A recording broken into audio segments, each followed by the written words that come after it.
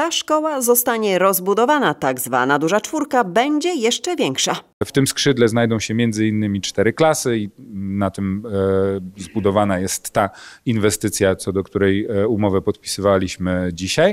To już nie są tylko plany, ale stan faktyczny. Miasto już ma umowę w przysłowiowej garści. Szkoła podstawowa nr 4 imienia polskich olimpijczyków w Ostrudzie będzie rosła na naszych oczach. Te klasy 1-3 przeniesiemy o 200 metrów z budynku małej czwórki do budynku, w którym będą w systemie jednozmianowym, to jest taka zmiana, którą wprowadziłem i której wymagam, e, w komfortowych, nowoczesnych, bezpiecznych warunkach e, nauczyciele i dzieci mogły pracować w budynku dużej czwórki.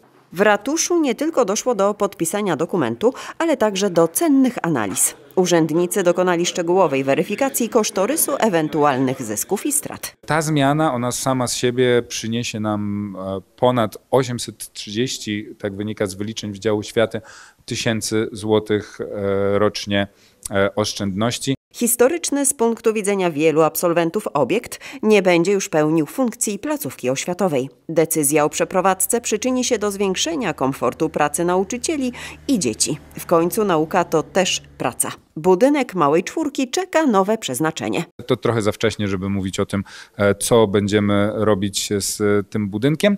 A wiadomo, do kiedy uczniowie będą się uczyli w tym budynku? Na pewno cały przyszły rok szkolny jeszcze uczniowie będą uczyli się w budynku tej Małej Czwórki, uczniowie klas 1-3. Wracając do inwestycji. Zaraz po podpisaniu kontraktu prace budowlane nie zostaną rozpoczęte. Musi zostać opracowana koncepcja, przygotowana dokumentacja i wydane pozwolenie na budowę.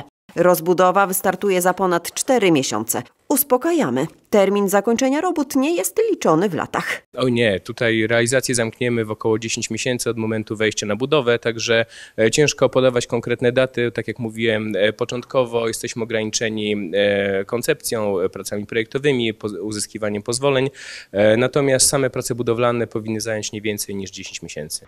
Nie ma co zadręczać się terminami. W końcu to początek wakacji. Uczniowie odpoczną od książek, a nauczyciele od pracy wymagającej dużej cierpliwości. Cierpliwość ta przyda się także podczas oczekiwania na nowy budynek, co wszystkim usprawni i ułatwi codzienne szkolne funkcjonowanie.